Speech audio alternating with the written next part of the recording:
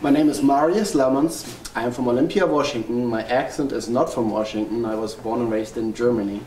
Um, I'm a family medicine doctor, but I'm double board certified in family medicine and um, holistic integrative medicine. I do both, uh, mix both. Um, and as I mentioned, I was born and raised in Germany, um, started medical school there, eventually actually get my diploma from Germany too.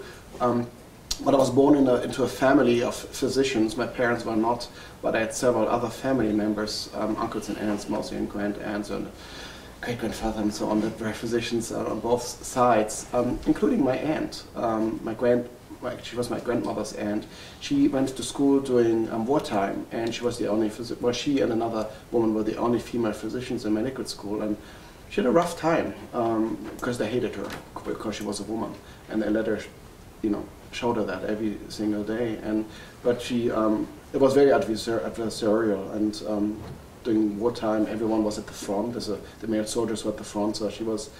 She had a one-day residency, and then she was the physician. Um, yeah, it was crazy. Um, but she overcame all of that. But she did eventually because she realized she had really no future in hospital medicine because it was always, you know, she was never going to get a higher position as a hospitalist because she was a woman. So she went into private practice, and then everyone who came after her, my uncles and aunts, all went into private practice to be pretty independent. And we're pretty happy there. Uh, they're all, uh, she originally was a general surgeon, but everyone else, um, and she eventually became a primary care doctor, but she was in private practice. So did the rest of my family. So I always had those ideals, and they all did really cool stuff.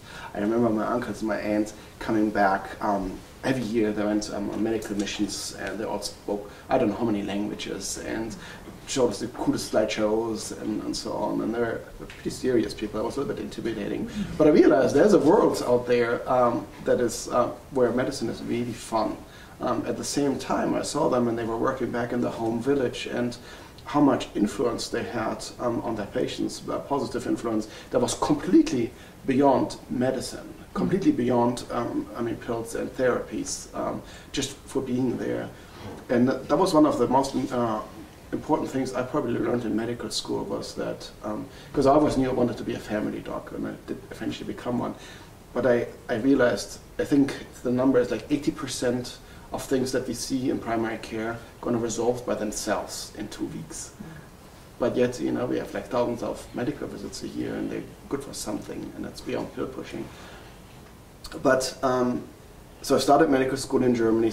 Germany has a very strange system, and at that time it was relatively easy to get into medical school, but then they do everything to get you out of medical school. It was kind of the opposite as it is in the States. It has changed mm-hmm. now, but um, so the, it's very abusive um, from the get-go.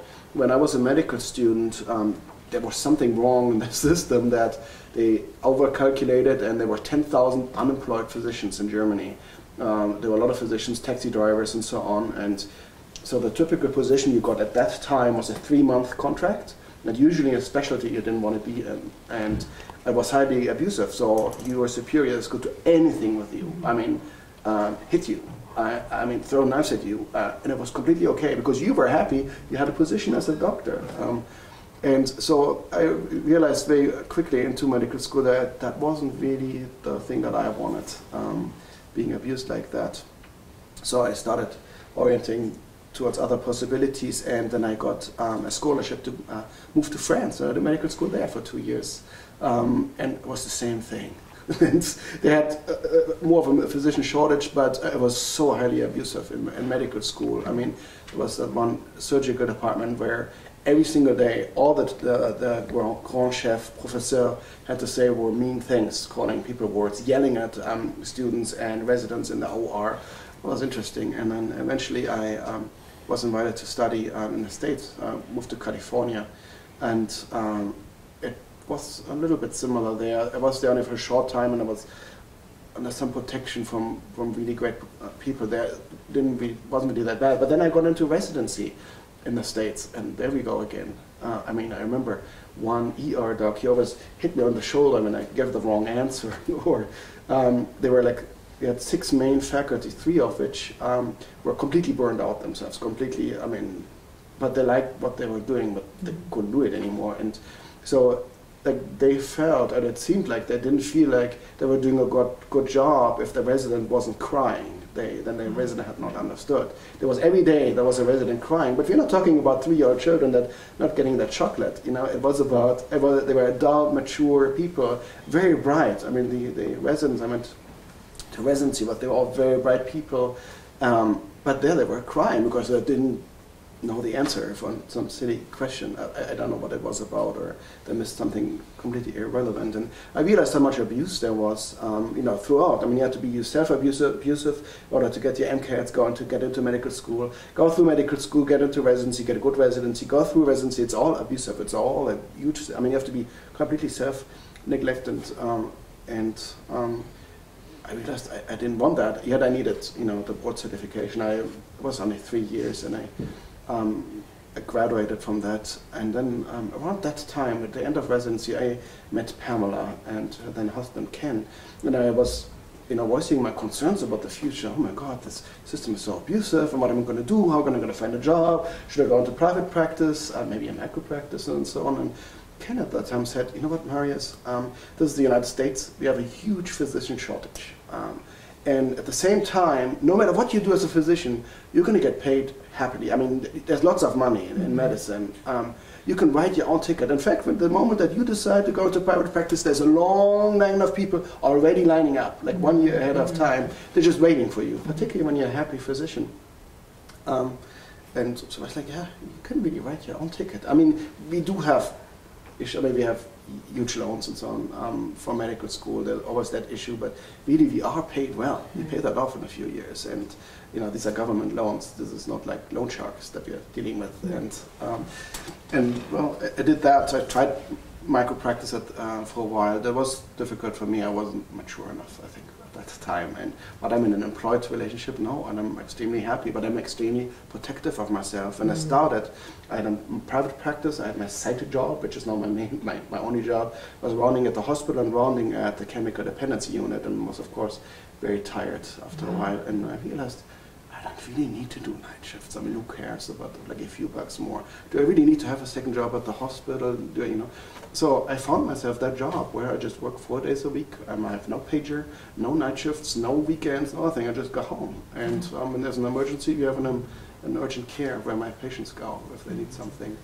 And, um, and I really, I mean, I had to look for that job, and I had to, you know, no, I don't want that pager back. And I lost my pager at some point, and never asked to get it back. Yeah. And, um, but it's very, very important because as a physician, that, that's my message. Um, you can do anything. I mean, you really write your own ticket. You can be as happy as you want to. Yeah.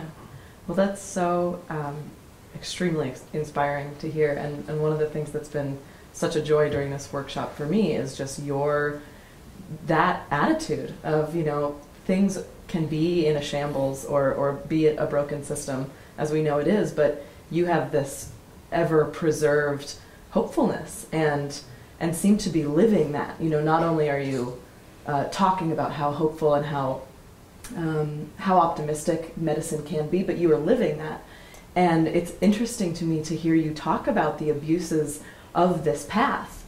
And I'm curious what what kept you going? I mean, residents, you know, medical school after medical school. You know, it's you went to two different medical schools and then residency, and and it was the same abusive environment. How did you keep that alive? You know that that vision of optimism? It's, it's a really good question. I, for, for once, I was uh, uh probably uh, I just was stupid. I didn't know. I mean, I uh, didn't really realize it at the time. A lot of the realizations I made later on, and mm. was just part of it. And uh, that doesn't sound good. But I also knew it was finite. I mean, let's just move on. It's a one-month rotation or something like that. Um, it's a three-year residency. It's, it's all finite. It's not the rest of my life. Yeah. I think it was a big realization. It makes a big part of it. Absolutely. It sounds like that knowing something has a determined end. Uh, and I think potentially the fact that you had had these elders, these family members who at a young age to you had presented uh, a vision of medicine that was free, you know, and that mm-hmm. you could find this thing that was interesting and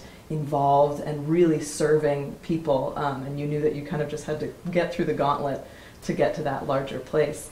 Um, I'm curious what you, how you see medicine now and leaving this workshop. You know, it sounds like you're you're very comfortable in your job and very happy mm-hmm. where you are. But um, what is, what is your ideal vision of medicine for yourself or for others who may not be in such a, a fortuitous position mm. as yourself? Yeah. So, yeah, I mean, I, I really want to be there for, for patients. I think my realization here is that I, I don't think I will be an effective physician if I'm in a bad position. Mm. I don't think, I, I think my patients like it that I usually come into the room whistling. And it's, it's, it's part of, because I'm so happy at what I do. I open the door and I'm, I'm, on, I'm all ready and I look in the eyes and I wait for them. I'm efficient at the work that I do. I'm, but um, I'm there for them and you know, be a role model, you know. Yeah, I think you need to get some exercise in your life. I bicycle. You know, Why don't you bicycle? You know, live in my neighborhood. And um, th- these kind of things, because a lot of people neglect themselves. I mean, we heard the numbers about phys- physician suicide and, um, you know, heart attack risk is pretty high in a Mhm. physician because they abuse themselves and there's no way that they're going to do a good job Mm. taking care of patients. I mean, like a smoking heart surgeon, what, what the heck, you know? Yeah, absolutely. Um, I guess the other thing, one other question I have is if you could have done anything differently, would you? If you could go back, would you make any any different decisions? No, I mean, no, I'm perfectly happy how things went. I was just extremely lucky. Most of these major decisions, I mean, just the sheer fact that I ended up in France, then ended up in the States, ended up in residency here in the Northwest, I, I had no idea what I was doing. Mm. I, it just happened to be the best decisions I've ever made. I, so I, and I didn't make them really that consciously. But Yeah. no, I'm happy with it. It all turned out good. That's great. Um, is there any question that I didn't ask that you want to answer? Mhm. Anything else I want to say? No, I've talked so much. I, Well, we will keep listening as long as you would like to talk. Mhm. But um, is there anything else you want to say? No, thank you. Thank you. Yeah, thank you.